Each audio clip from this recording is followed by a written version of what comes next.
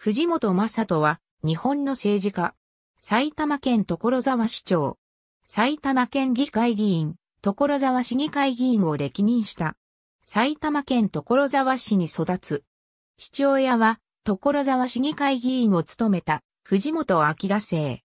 所沢市立西富小学校、所沢市立紅葉中学校、埼玉県立川越高等学校、早稲田大学第一文学部卒業。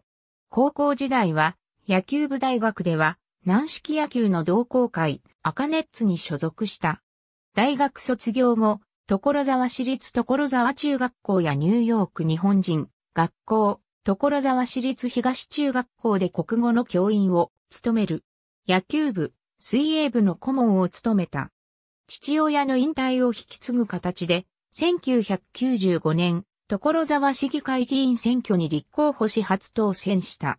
審議2期8年間は環境問題を中心に活動し、議員提案による大沖新条例の制定にも尽力した。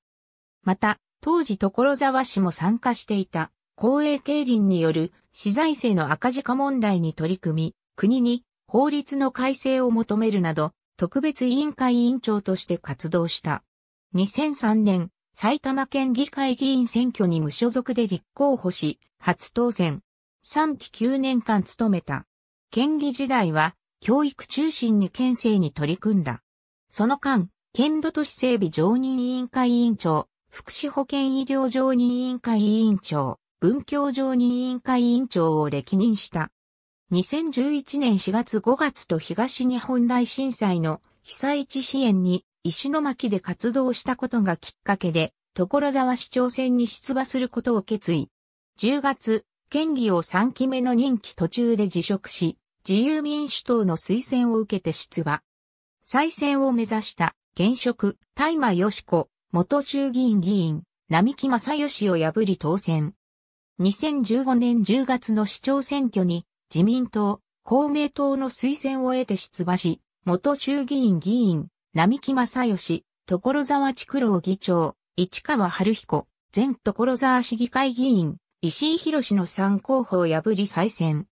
2019年10月の市長選挙に自民党、公明党の推薦を得て出馬し、野党の支持や支援を受けた元衆議院議員、並木正義を破り3期目の当選。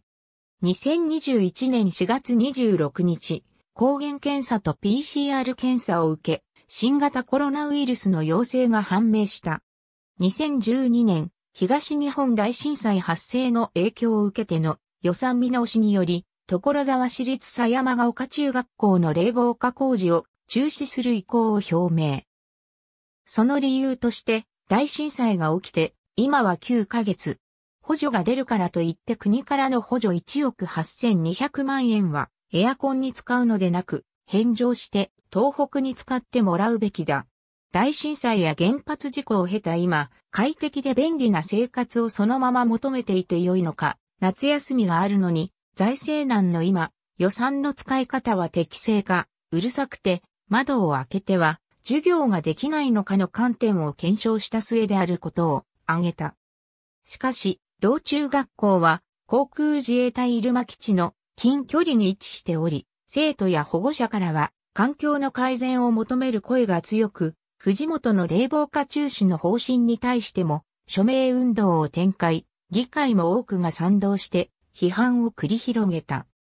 市長側はクーラー稼働日数は年間30日くらい、10年使用しても工事費、だけでも1日あたりコストは48万円にもなり、イコール約108万円、日、さらに燃料費の高騰を上げ、教育は物より人の考えのもと工事費の一部を、心の触れ合い相談員の復活や、学校運営マルチサポーター、障害児介助員等に3922万円、当てたことなどで理解を求めている。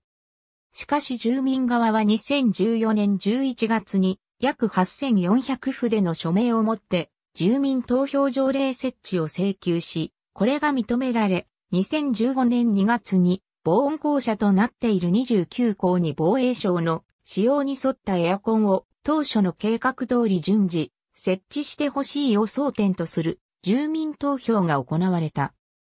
結果、設置に賛成とする投票数が設置に反対とする投票数を大幅に上回ったものの、投票率が市長が投票結果を侵釈するために必要な議会が定めた基準、賛否いずれにしても3分の1を上回ることには及ばなかった。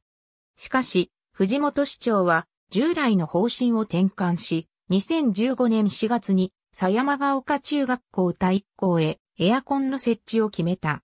その後、2018年12月議会にてエアコンを設計施行一括方式により、すでに設置されている3校を除いた44校全校に整備していく予算を提出し、可決された。そして、エアコンは2019年度末をもって全校に設置された。ありがとうございます。